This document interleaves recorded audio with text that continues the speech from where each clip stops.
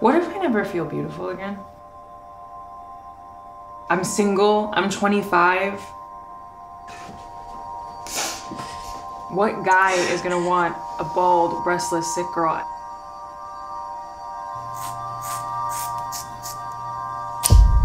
This is the beginning of the end.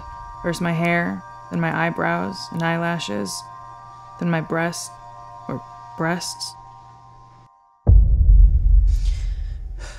Your biopsy was positive. You have cancer.